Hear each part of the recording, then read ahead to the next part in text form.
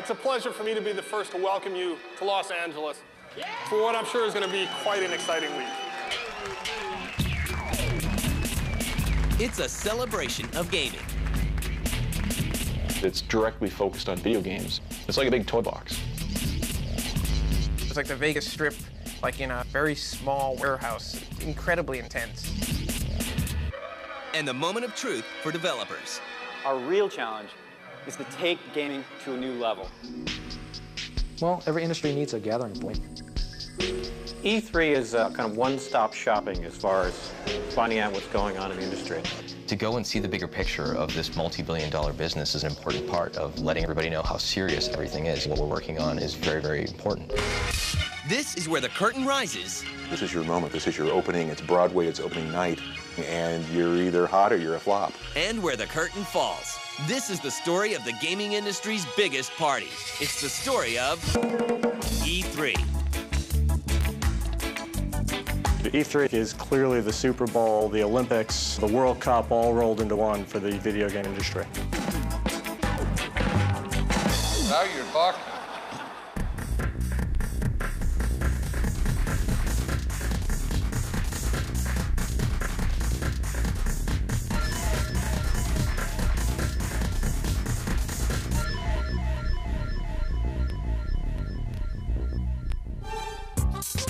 Every industry needs a trade show.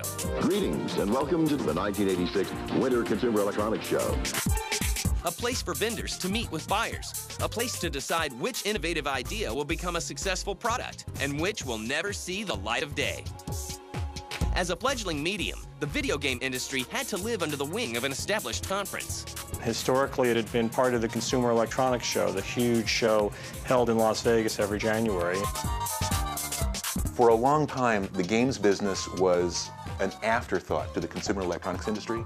So we were kind of a sideshow. We were P.T. Barnum off in a side tent. You know, they were always kind of in the worst pavilion. You had to like walk past all these car stereos to get to the games. You know, it was cool when you went to it because you got to see all these new games, but you definitely didn't feel like you were the the reason for the show. Now we have something very small. But treated very much as a stepchild, not as the showcase, the centerpiece. It's just amazing that technology can be put into this small box. The game industry had become an increasingly large part of the show. Thanks to some big games, like Tomb Raider, which is first introduced to the public at CES. Tomb Raider was very much a hidden treasure. We went to the Consumer Electronics Show, and we had a full array of games, and one of them happened to be Tomb Raider with this character, Lara Croft.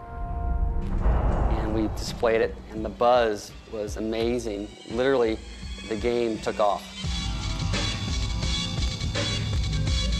The show was such an amazing event in terms of the game being so well received that everyone started to realize, wow, there's an amazing game over at the Eidos booth.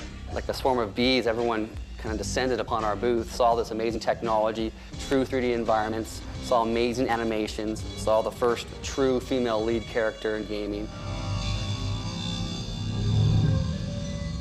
By 1995, game journalist Pat Farrell sees the need for a 100% game-only trade show and quickly shops the idea around the industry.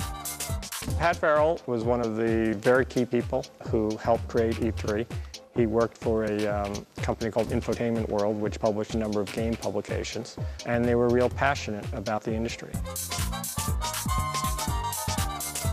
And the industry, frankly, felt that it had reached a point of critical mass where it could support a show of its own and deserved a show of its own.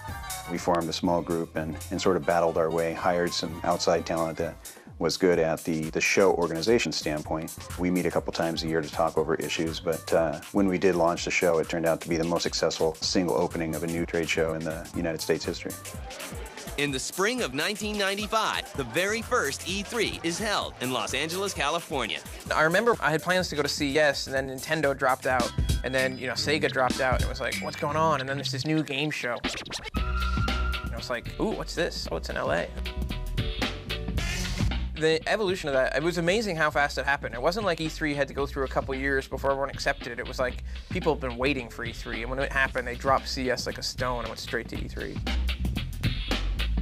In its inaugural year, nearly 40,000 people attend the expo. Highlights include the unveiling of the new Sony PlayStation and Sega Saturn consoles.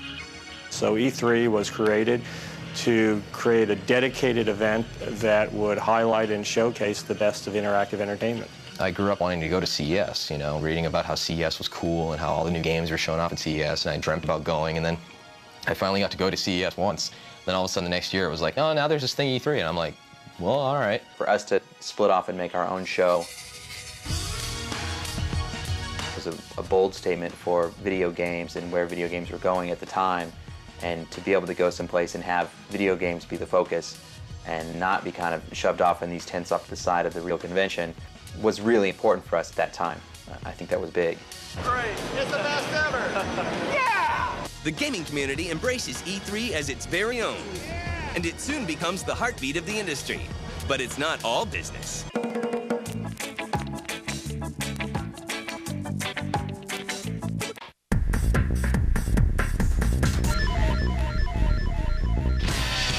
In the spring of 1995, the debut of the very first E3 in Los Angeles is by all accounts a huge success and a great time. The first E3, like uh, I was actually still working at a, uh, I wasn't at a game magazine yet. I was like the gaming editor at a Macintosh magazine, and I walked in there. You walk through the doors, there's tons of noise coming out of all the booths.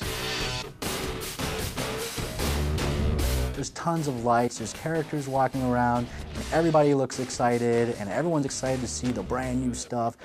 They didn't have any OSHA regulations about noise at that time, and so, uh, or they didn't enforce them. So you walked in, and it was just like your eardrums started to hurt. Ah, you know, just like flashing lights. You know, it's kind of trite to say it's like a drug experience, but it, but it was. I've never done LSD or whatever, but it's probably what it's like. Just like it was incredibly intense. In 1997, E3 changed locations, a move not popular with gamers. E3 was in Atlanta for a little while, and everybody complained, and I moved back to LA. After two years, E3 came back to Los Angeles, and attendance increased to over 60,000. Nearly 145 million people play computer and video games. Stakes are high, and game companies spare no expense, pouring hundreds of thousands of dollars into booths. Obviously, the money has grown, the big ka-ching ka-ching. How many people are here to see the games? People are spending more money on the booths, people are spending more money on the parties, people are spending more money on the booth babes. It's all about the money now, and it's all about getting that game into the store to please all the retailers and the press and to make an impression. And that's why to be the game of the show at E3 is a big, big deal these days. And the companies that exhibit here are dedicated to creating a presence that showcases their product, but also engages and entertains people. And it's the only trade show like it in the world. Nearly 600,000 square feet of the convention center is filled with what's new, what's hot, and what hopefully will sell. All right, step right up. We need four more players. More commerce and promotion take place during E3 than any other time. One of the biggest things that I remember from E3 is when Sega showed the Dreamcast. And I think that was a huge, huge deal for a lot of people at E3 to show what their game plan was, what they got coming out. Then, as I went to other ones, you know, the PS2 launch is very exciting. GameCube launch was very exciting.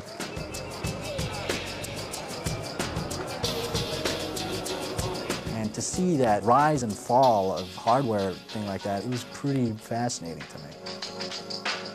Yet there are always some surprises. Nintendo held a press conference at the start of E3 to unveil our lineup of games, and it was packed with about a thousand journalists from around the world.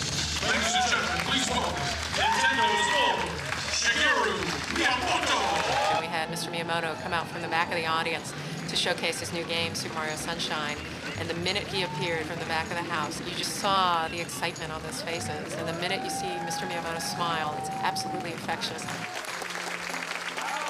And it was just a happy crowd to see him come out and play his new game. You can't help but be just part of the excitement. So we're all looking forward to Mario's next adventure. It's also a chance to check out the competition. Watch and learn something. I guess in terms of the games you get to see there, it's really cool because as a, as a big video game fan myself, I love to see the up and coming games for, for the next year. It's just great to be able to, to try them out hands on, to go and play them, to talk to the developers. That's probably the thing that I enjoy the most about E3 is meeting other developers. We created technology that would allow us to get the most out of the PS2. It's part of the industry. It's an important part of the industry for marketing, for sales. PlayStation 2 worldwide shipments have now exceeded 30 million units. It's a lot of fun if you know how to approach it. And putting together a show of this magnitude is a challenge. I mean, there is uh, so much activity that goes on during the E3 show. Between the lights, the sound, the video, we probably draw more power than, you know, most of the shows out there. In fact, uh, LA Convention Center had to bring outside trucks in for like the last four because we draw so much power. A few years ago, we had an exhibitor here who told me that they had more lights in their booth than the Rolling Stones had on their Steel Wheels concert tour. And for this trade show, it's the after hours that has people talking. You're always on your feet for three days continuously, including a good part of the evening in many cases because they have events every night. You're always on. You're always networking with everyone in the industry. How you doing? Cool. And that's really important. It's important to do that. Uh, parties are great. I certainly love the parties at E3. Well, a lot of the parties obviously turned pretty insane. That's right. You know, they border on, you know, they border on almost lunacy at times, and, uh, and I think those are the ones that most people always stays in their head. After some of the parties in the morning, I'm, I, I, I, uh, I don't look forward to that part, but I look forward to the actual partying part and the doing business part. But the morning after, you know, I, I can do without a few of those. PlayStation 2 has enhanced dear loved ones' lives. So. Some will do whatever it takes to get the attention of the game press, like Epic Games' Cliffy B. I've been known to wear an occasional outfit here and there. There was a while there I had a whole big uh, pimp suit phase at E3. You know, I, I enjoyed dre- dressing up as a pimp per se in, in various uh, purple suits, red suits, and whatnot. And uh, people ask me like, "So, dude, what's with the suit?" And I'm like, "Cause I can." I'm like, you know what? This is the, you know, when I go to a convention, I can actually dress up and you know wear something interesting and and have fun with it. Why the hell not? And then there are the models. Every year there's hot chicks here at the show. I'm no one's honey boy. I'm not your honey. My mission is attract the crowd. We're perfect in smiling. honey boy. I'm not your honey. The whole booth babe phenomenon. I mean, don't get me started on that one, man. Hey, come check out the snowboarding game. Oh, it's fun. Hot girls working hard. Yeah, I always do use this this Eiffel Tower analogy. It's like, you know, when you go to France, you get your picture taken next to the Eiffel Tower. Why? Because you're never near the Eiffel Tower. We had our first Tomb Raider model. Her name was Rona Mitra at the E3 show in 1997. And that was, to this day, in terms of fan interest, she's probably still the most beloved of all the models. Huge crowds around our booth. She's now gone on to be a, a movie star. It's fun. It's video games. But the event is not all fun and games.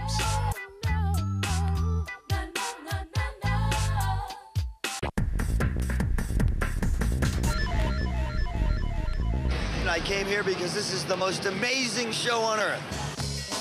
Although E3 has earned a reputation as a giant party for the game industry, it remains largely a business event. Let me first talk about the, uh, the business of the interactive entertainment industry as a whole. Here- E3 E is extremely important for the business, from the press angle, uh, from you know everybody kind of evaluating each other. Every game looks and plays best on Xbox. Film has the summer season, like you gotta go see the summer blockbusters, right? For the gaming industry, that's Christmas. More than 200 will be on store shelves this holiday season. You can see most of them at the show here this week. E3 taking place in May, it's the setup for the games that are going to be coming out for that holiday season. The buyers are there. You can't ignore the fact that the brick and mortar shops, Best Buy, Walmart, and everything, they're still huge. They're huge players. You got to get your game in those store shelves. Our perspective, the E3 really is all about positioning your game for release later in the year. And I mean, and also for future years, really getting into the minds of the stores and sellers and everything else. Press part of it's important, but I mean, ultimately, it's, it's a retail business, and I think that's what a big part of E3 is. It's my pleasure to announce the world premiere of Dead or Alive Extreme Beach Volleyball.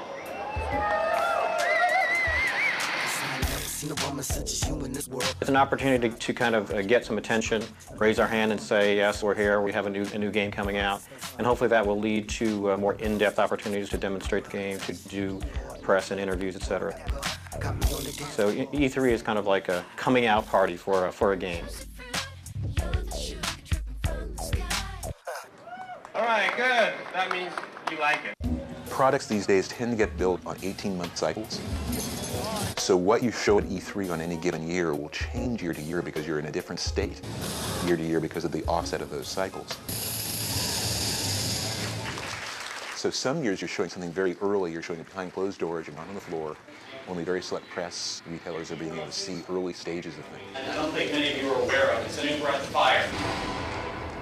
This is kind of like a gathering of the clans. There aren't that many events during the year when you get to see everybody and you get to see what everybody's working on. We'll show you a little bit of the early content of the game. For us now at BioWare, a lot of our own products are, are demoed at, at the various locations of our publishers and in our own booth as well. As I zoom in, you notice the, uh, the cloth effects there.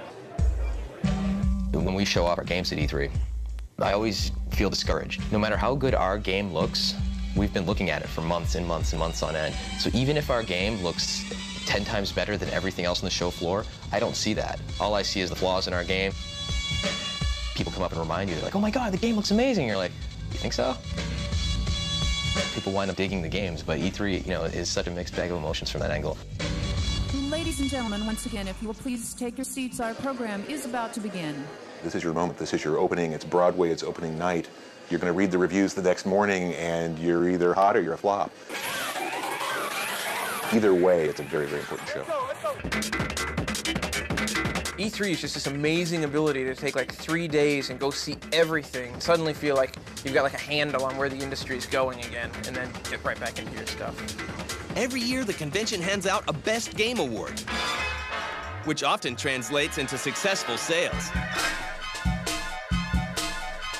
I think that all game companies come to E3 and they see it as a really critical event. You want to have a good showing. You want that buzz uh, because that flows out of the show. It can give a huge liftoff. The first time you see people seeing your game, and you can stand about 20 feet back and people don't know you're there, and you can just watch them play your game, and watch him have fun, and watch him not want to put down the hand controller is a very special feeling. It's like a big toy box. You get to see all these games everywhere that you just get to play them all. So it's, it's a cool place to go to. There's so much to see, and you can see them in an interactive form. You know, you're not looking at a magazine and a screenshot, you know, something static. You can actually go there and, and, and play. That's very valuable. And since its inception in 1995, E3 has grown to reflect the constantly changing consumer environment. 1,400 new products are shown, and 60,000 retailers, developers, distributors, and media gather for three memorable days. The industry's evolved. We have cell phone games, we have PDAs, wireless games, we have online games. And as all those different technologies and platforms emerged, the show has evolved to reflect that diversity in the industry. Why don't we show the folks how this works? Sure. John, are you going to color commentate for us? Yeah, you can't beat this, man. Football in May. Year-round football. And we are live, ladies and gentlemen. What? And by now, the joke is you need a golf cart to kind of get around and get from meeting to meeting over the course of three days and do all that you need to do. The noise level is much greater than it was before. You know you've been in a place where entertainment is rocking when you come into E3. Sensory overload. An exciting and enervating environment. Oh!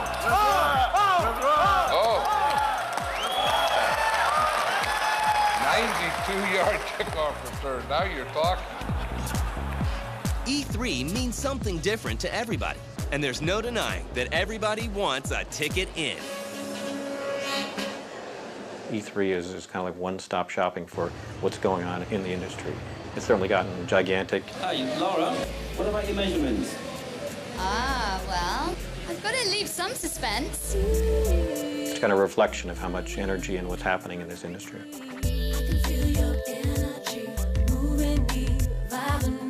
I love going to the show. It's exciting and it's terrifying at the same time. This show has kept its focus. It is about games first, last, and always. You'll have to kind of check out the game. It's coming out on the 15th of November on the PlayStation 2 and the PC. What I love about E3 is it's our show. The energy is wonderful. It's loud. And even after nine years, I still feel special about that. We have one place that's about our industry, our games, our creative art. It's with the volume turned up all the way and the colors all saturated and the TV as bright as you can get it, but it's our show. And our announcement is that starting next year, in 2003, E3 will become a three-week show. And obviously I'm joking, so don't show up three weeks early next year. Uh, unless you want to he help set up booths.